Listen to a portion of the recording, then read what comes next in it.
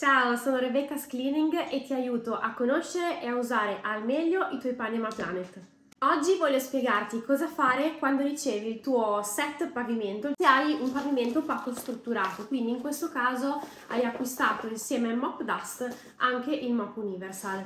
Ovviamente se non ti iscrivi subito al mio canale non te lo dico. Nel pacco troverai questi due panni, quindi uno da usare asciutto e uno bagnato, troverai il loro sapone per lavarli correttamente a fine utilizzo, troverai il manico telescopico e la base della nostra scopa professionale. Troverai anche un sacchettino con un pochino di saponi in scaglie. Questa sarà la prima cosa che puoi fare.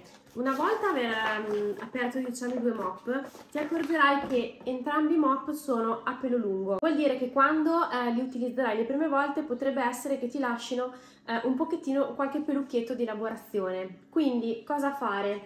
Li butti in lavatrice, prendi il sacchettino di scaglie che ti ho dato, lo apri, lo rovesci nel cestello in mezzo ai, insieme ai mop e se hai dell'altro bucato, per esempio lenzuola, asciugamani oppure se hai qualsiasi tipo di bucato, una lavatrice qualsiasi che devi fare, riempi pure la lavatrice perché? Perché questa dose di scaglie è la dose con cui puoi tranquillamente fare una lavatrice. Fai un bel lavaggio a 40 gradi con centrifuga 800.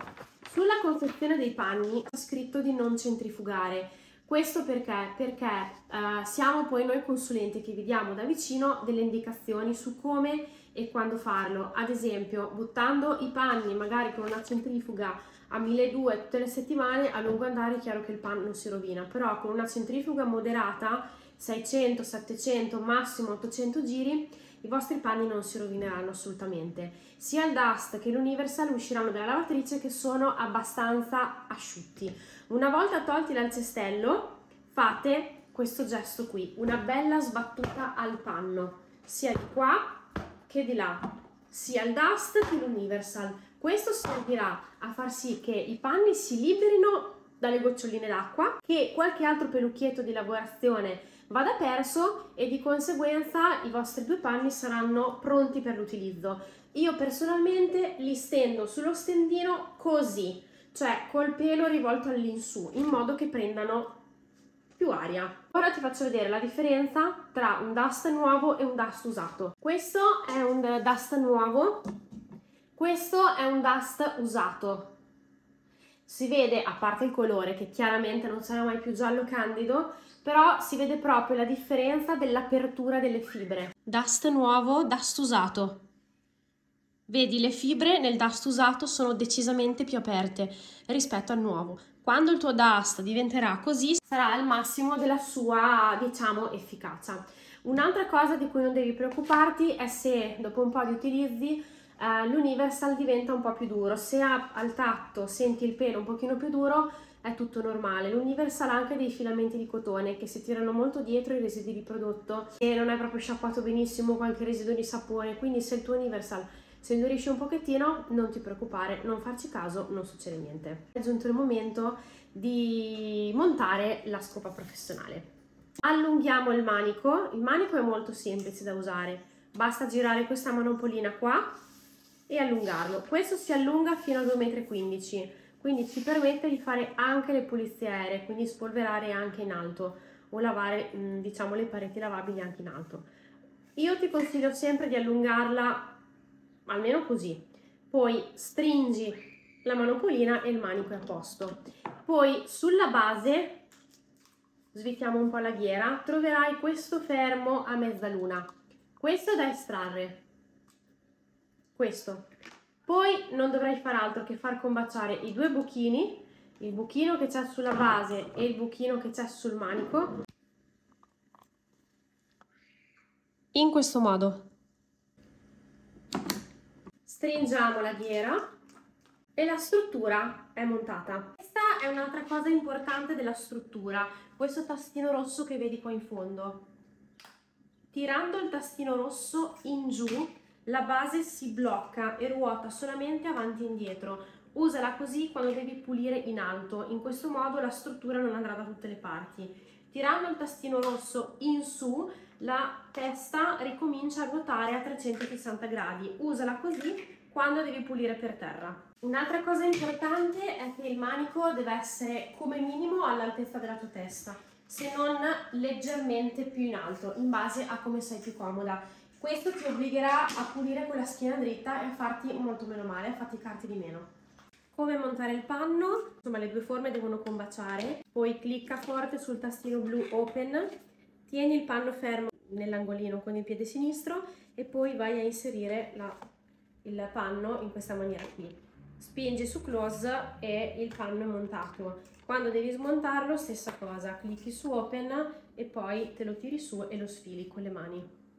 Il dust puoi usarlo un po' come ti pare, è la tua aspirapolvere, il tuo sostituto allo Swiffer, è la tua lucidatrice, il tuo straccio di lana della nonna di un tempo, il tuo panno per la pulizia giornaliera, il dust eh, è veramente un passepartout che puoi utilizzare in un sacco di situazioni. Hai fretta e non hai tempo di lavare per terra, il dust ti fa la prima pulizia.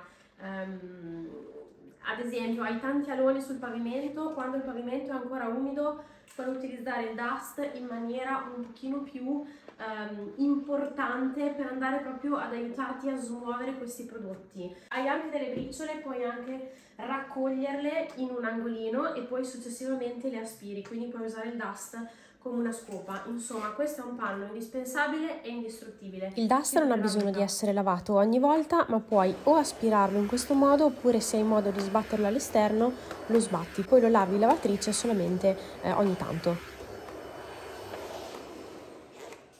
Se non hai lo strezzamop, questo è il metodo ideale per utilizzare il tuo sistema pavimenti immergi il panno dentro al, ad un lavandino normalissimo oppure dentro ad un normale secchio. Una volta che l'acqua avrà raggiunto tutti i punti del panno, lo strizzi semplicemente a mano.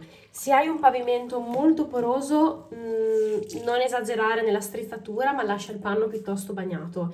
Se invece hai un pavimento liscio, puoi strizzare il panno in questa maniera qui e strizzandone un pezzettino per volta. In questo modo ci metterai veramente pochissimo e farai meno fatica e il risultato sarà eccezionale. Se vuoi puoi anche sbatterlo in modo che perda un altro filino d'acqua. Invece dopo averlo bagnato come abbiamo visto prima nel lavandino o in un secchio, adesso è giunto il momento di lavare, per cui andiamo ad inserire l'universal e iniziamo a lavare il pavimento. Anche qui ci sono diversi metodi.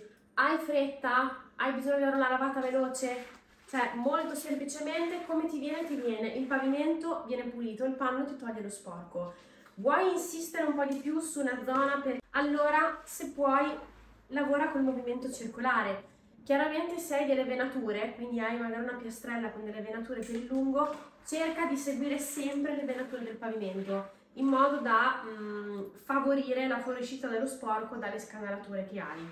Il livello di acqua da utilizzare lo puoi decidere tu.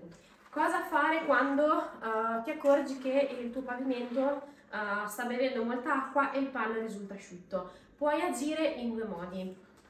O giri il tuo, il tuo mop con G.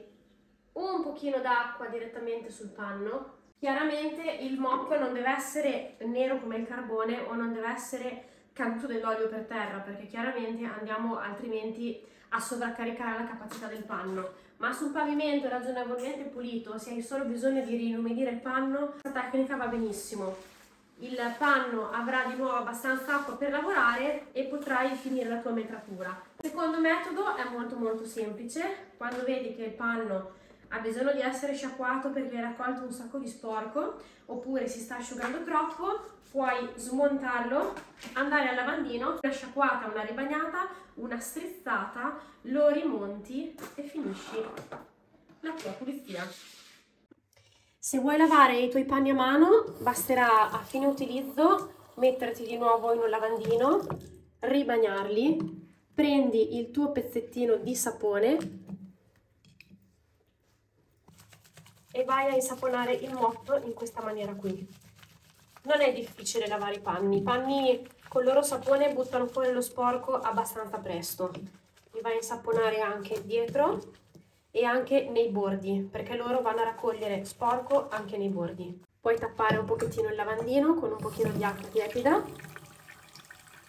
e vai a spugnare il panno. Il panno tende a buttare fuori subito lo sporco, come vedi. Puoi anche lavorare in questo modo qui, tenendolo per la sua taschina e strofinandolo in questa maniera qua.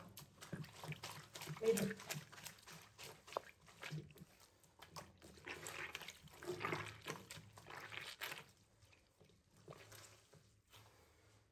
Poi lo sciacqui bene, lo strizzi. Lo sbatti, se puoi sbatterlo all'esterno ancora meglio, e ti assicuri di stenderlo in questo modo, con il pelo all'aria. Il pelo deve essere ben aperto così come vedi nel video. Se lo vedi appiccicato vuol dire che non l'hai lavato bene, non l'hai sbattuto bene o non l'hai sciacquato bene. Il pelo deve rimanere sempre così bello aperto e poi lo stendi possibilmente all'aria, altrimenti anche all'interno non c'è nessun tipo di problema, l'importante è che sia bello aperto. Ora che hai visto come si montano, come si lavano, come si iniziano ad usare, non mi resta altro che augurarti buon lavoro, ma soprattutto segui il mio canale e non perderti i nuovi video per essere sempre al passo con l'utilizzo dei panni Ema. Ciao!